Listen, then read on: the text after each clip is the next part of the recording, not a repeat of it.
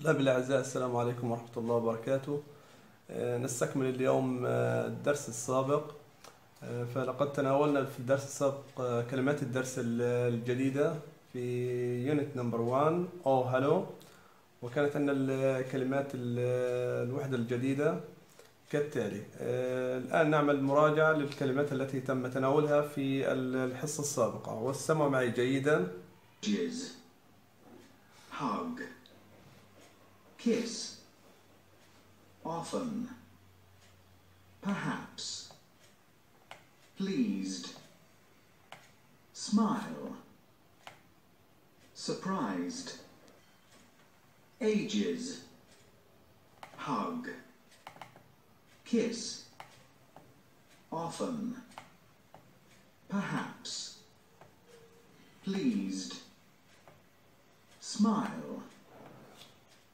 Surprised.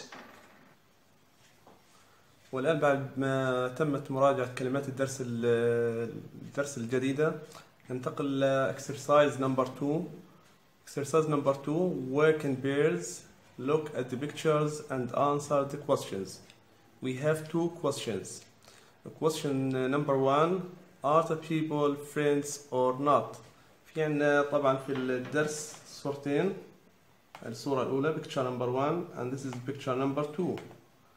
زي ما إحنا شايفين الصورة الأولى والصورة الثانية. في السؤال الأول يطلب منا بيسألنا سؤال Are the people friends or not هل ال- الناس اللي في الصور التالية هل هم أصدقاء أم لا؟ Are the people friends or not هل هم أصدقاء أم لا؟ طبعا بعد قراءة الدرس نحدد ونقوم بالإجابة على السؤالين التاليين Question number two What do you think they are saying? What do you think they are saying? ماذا تعتقد? What do you think? ماذا تعتقد? They are saying يقولون. We have two we have two pictures. Picture number one. What are they saying? ماذا يقولون؟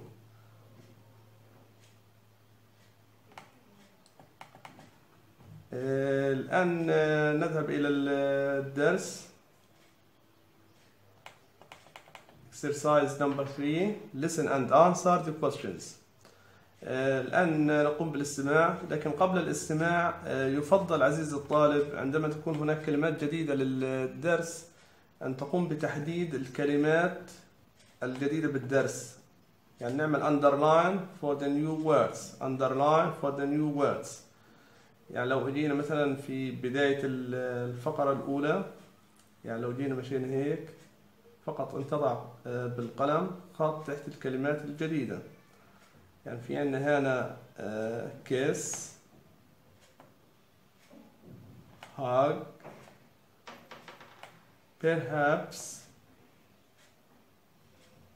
في عندنا كمان مرة هنا في كيس hug إلى آخره آه، حتى نكمل بقية ال- النص. آه، طبعا هذه آه، تمرين ممتاز وكويس بيساعد الطالب على تذكر الكلمات وحفظها وتوظيف الكلمات في ال- السياق. الآن نستمع جيدا إلى النص بداية النص. Every day we meet people. We meet friends in the street or at school, and sometimes we meet new people. What do you usually do when you meet friends? Do you kiss and hug them? Perhaps you never do that. But in some countries, people always kiss and hug their friends. Hi, how are you? I haven't seen you for ages. How's your family? Hello, you for ages. How's your family? Hello, how are you? You look great. We're all fine. How are your parents? They're very well, thank you. Oh, I'm so surprised to see you here. What do you do when you meet new people? Are you friendly? Do you often smile? Jake, this is Evan. He's my cousin. Hi, Evan. I'm pleased to meet you. How do you do, Jake? Good to meet you too. I've heard a lot about you. And this is my cousin, Clara. Hi, Clara. Hello. والآن نستمع مرة أخرى لل- للنص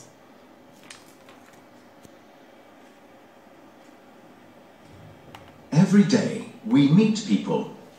We meet friends in the street or at school, and sometimes we meet new people.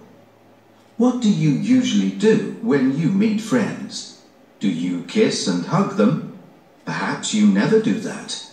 But in some countries, people always kiss and hug their friends. Hi. How are you? I haven't seen you for ages. How's your family? Hello.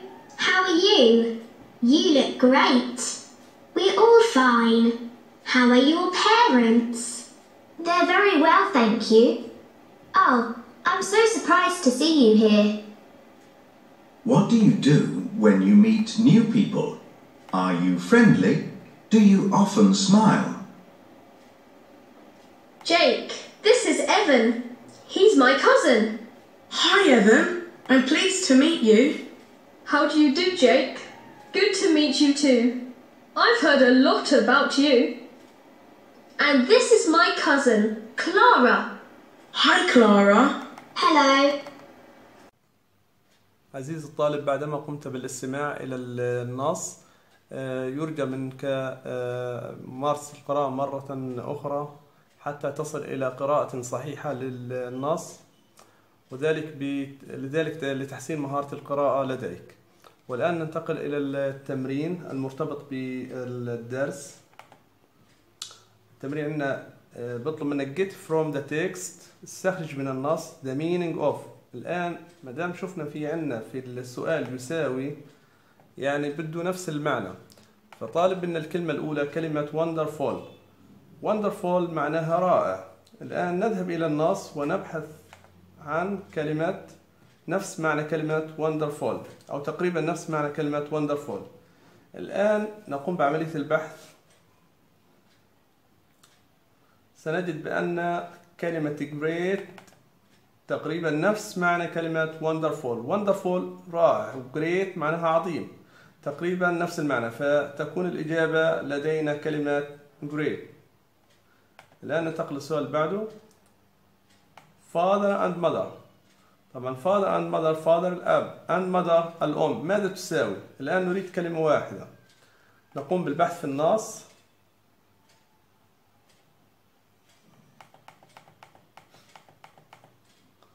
نجد بأن كلمة father and mother تساوي كلمة parents. Parents. Parents معناها الوالدين. الوالدين. Parents الوالدين.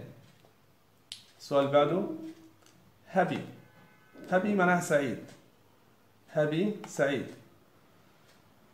لو بحثنا في النص سنجد بأن كلمة pleased. Pleased. Pleased معناها مسرور. طبعا هذه كلمة رئيسية من كلمات النص. Pleased نفس معنى كلمة happy pleased نفس معنى كلمة happy السؤال بعده. Got got got جيد. الآن لو بحثنا في النص سنجد بأن كلمة got تساوي كلمة well. Well. They are very well. هم هم على ما يرام. يعني بنفع كمان نقول they are good they are good they are very well. إذا well تقريبا نفس معنى كلمة God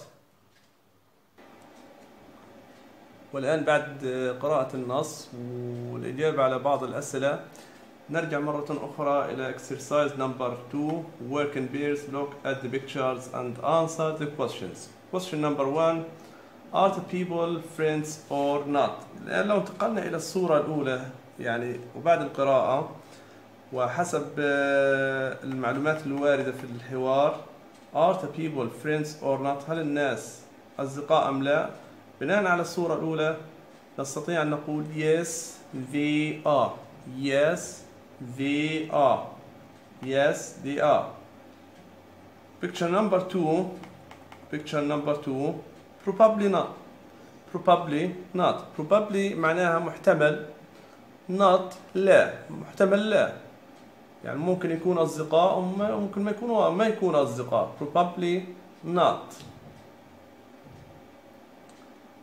Question number two. What do you think they are saying? ماذا تعتقد بأنهم يقولون؟ إذا question number two. What do you think they are saying? ماذا تعتقد بأنهم يقولون؟ في picture number one في الصورة الأولى عندنا زي ما إحنا شايفينها question picture number one uh, they are friends هم فعلا أصدقاء uh, طبعا Jane and Annie are friends they are hugging each other هم بحضنوا بعضهم البعض طبعا جين ماذا قالت she said I haven't seen you for ages I haven't seen you for ages أنا لم أرك منذ زمن I haven't seen you for ages أنا لم أرك منذ زمن إذا يتحدثون عن بعضهم البعض I haven't seen you for ages في الصورة الثانية الصورة الثانية what are they saying في عندنا Pau Pau is talking about his cousins Pau is talking about his cousins باول يتحدث عن أولاد عمه كلارا And إيفان كلارا and إيفان إذا الإجابة Paul is talking or saying about his cousins إيفان and كلارا آه، نتوقف هنا ونكمل معكم في فيديو جديد نستكمل به بقية الدرس. والسلام عليكم ورحمة الله وبركاته.